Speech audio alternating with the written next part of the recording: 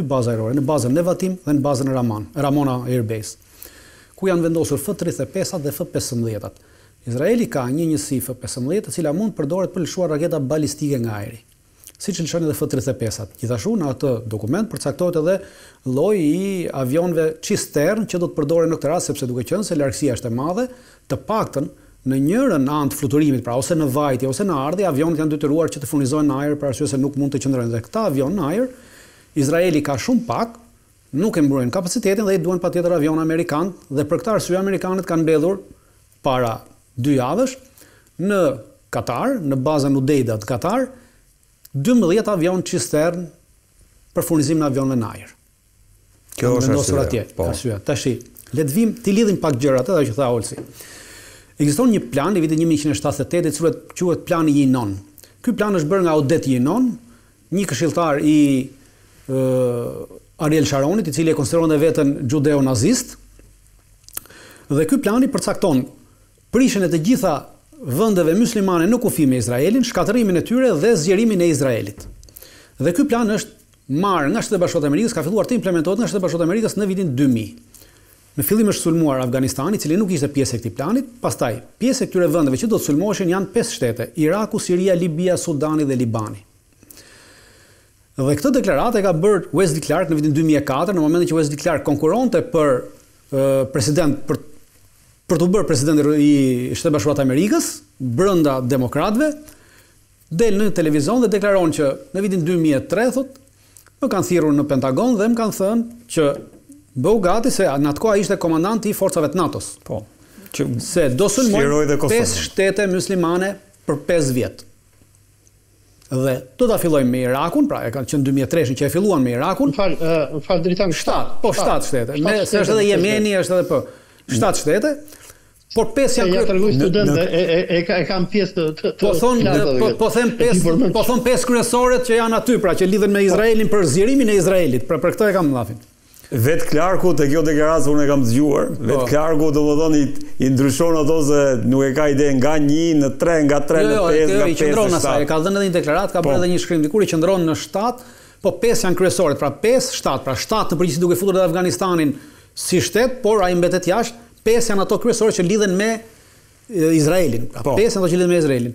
Iraku, Siria, Libia, Sudani dhe Libani. Pra, po. këto janë vendet kryesore që lidhen me Izraelin. Po jo, dhe ama, tashmë nga gjithë ato... Klarku aty thotë këtë, që se unë e kam dëgjuar dhe për të qenë, për të qenë, domethënë të vërtetë, thotë, Ne pamë, në atë moment pamë që Rusia nuk ekzistonte më, kishte rënë Rusia, nuk kishte një një superfuqi tjetër që t'i mbronte dhe ne Jo, nuk është çështje mbrojtjeje, është çështje e shkatërrimit, pra nuk është çështje mbrojtjeje. Pra këta hynë për t'i shkatërruar për arsye sepse këto ishin vende të cilat ndër në atë kohë pengonin zgjerimin e Izraelit të territoreve izraelite, pra pengonin ëndrrën hegjemonike të Dakord, pjesë e skenarit jo, por Clarku thotë ne, nga që ishte e asgjësuar Rusia. Jo, jo, ajo shiko, ajo mënyra se si e thotë Clarku, ajo është për të justifikuar Oh, ok, tjetër gjë kjo, po jo nuk e thotë Clarku, këtë po të them. Nuk po merrem me me justifikimin e tij, po merrem me qëllimin e Me qëllimin e kësaj, ok. Dhe kjo është e shkruar në këtë dokumentin e vitit 1978, e bërë nga ky Jinon dhe quhet Dokumenti Jinon, pra, hegjemonia, zgjerimi i Izraelit në këtë pikë. Janë sulmuar të gjitha këto shtete, të cilat nuk do ta linin Izraelin, pra do ndihmonin Palestinën, do ndihmonin Hezbollahun, gjitha këto. Janë sulmuar të gjitha këto shtete dhe janë shkatërruar këto shtete, për t'i hapur mundësinë Izraelit për t'u zgjeruar. Për të bërë këtë mundësi. Këtë që po bën sot, po thua. Duke qenë se e bën këtë, pra e shkatërruan Sirinë dhe pas shkatërrimit edhe të Libisë, Në këtë moment hynë në lojë iranianët të cilët e kuptuan se ku do të shkonte kjo.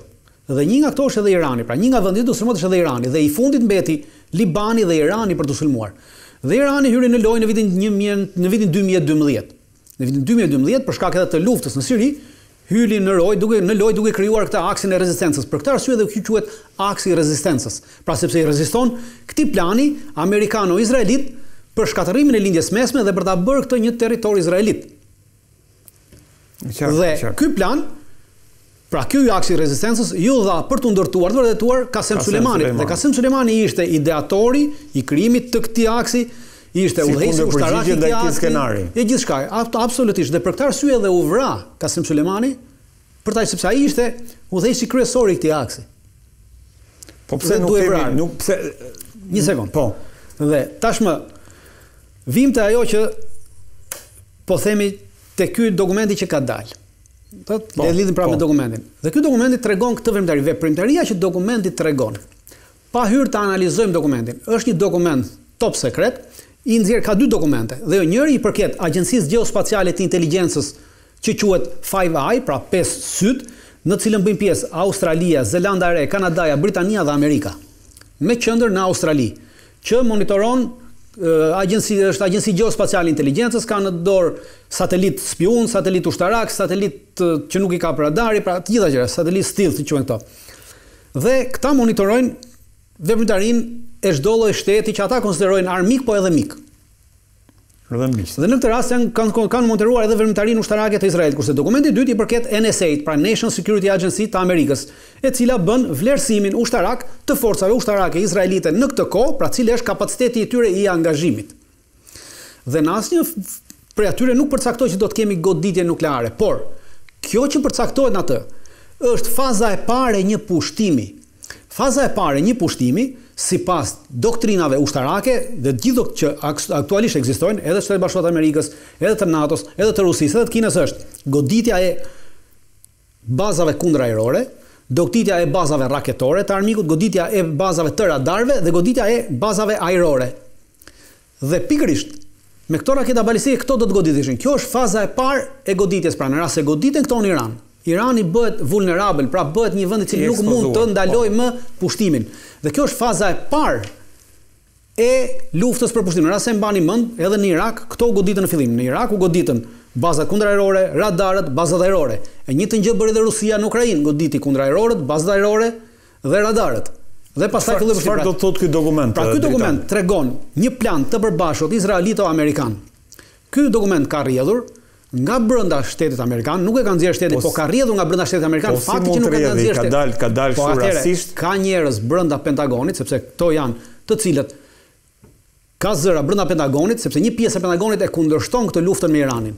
Për arsye se në rast se shkojmë drejt luftës me Iranin, shkojmë drejt një përplasje globale. Drejt një krize dhe katastrofe globale. Dhe nuk duan të bëjnë një gjë të tillë.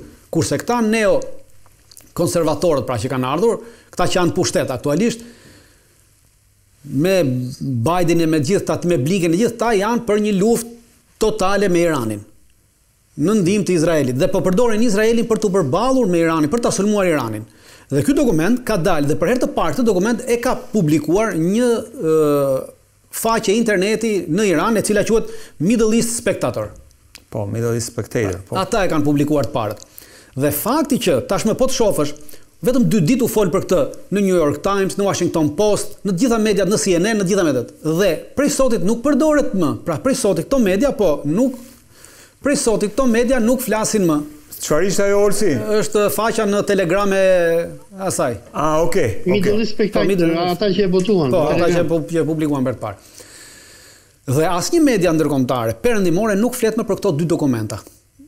Pra tregon sepse tregon që dokumentat janë origjinal, por që nuk tentojnë. Kanë dalë dhe kanë treguar një plan të përbashkët izraelito-amerikan. Siç tash, bëjmë pikat bashkë. Pra, kemi prurjen e dymbëdhjetë avionëve çisternë, dy javë përpara. Po, që janë, që janë sinjale. Po, tashmë kemi ardhjen e këtyre. Dokumenti, ëh? Pra, ky dokumenti, pra ky dokumenti përcakton që kanë nxjerrë raketa dhe i kanë çuar në bazat ajrore dhe po në dokument shkruhet që Për të vepruar, për të lëshuar këto raketa, avionët duhet patjetër të furnizohen në ajër, pra kemi këta avionët furnizues që ka sjellë Shtetet e Bashkuara të Amerikës dhe tashmë Shtetet e Bashkuara të Amerikës po e përdorin këtë për të thënë që për të larë vetveten që shiko, Izraeli do ta bëjë, ne s'jemi me këtë.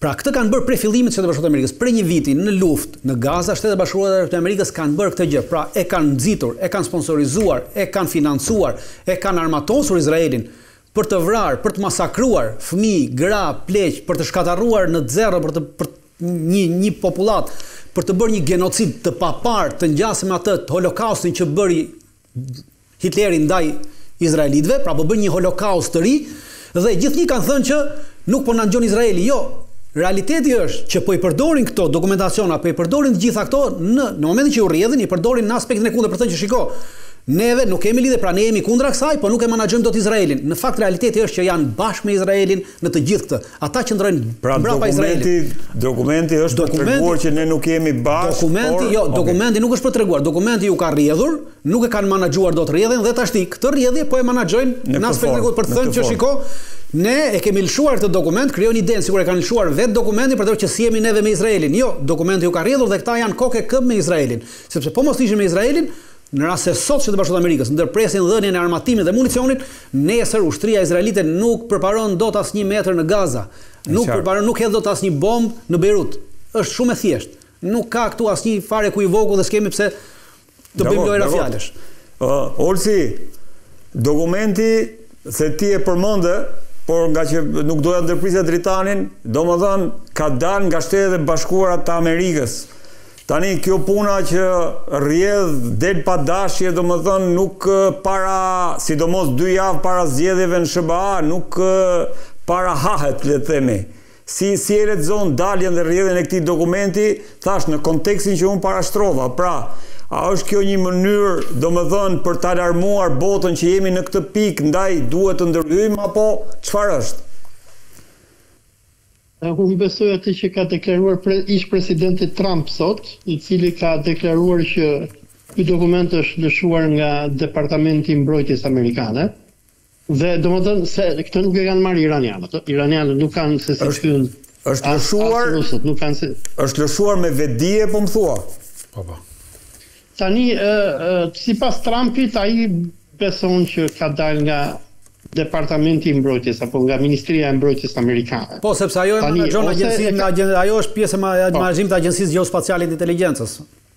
Po, tani ose e ka nxjerrë vetë Blinkeni, i ka thënë këtij, Xho Bajdeni i ka thënë Blinkenit ore nxirni naj dokument që t'ia sfumojmë Izraelit planin, se ky është plan i luftës ë, domethënë ata i kanë thënë iranianëve ata po bëhen gati do t'ju godasin, ne nuk kemi ça t'i bëjmë, ne po çojmë këto avionët si quhen këta furnizuesit Dritan? Avionë cisternë, avionë cisternë.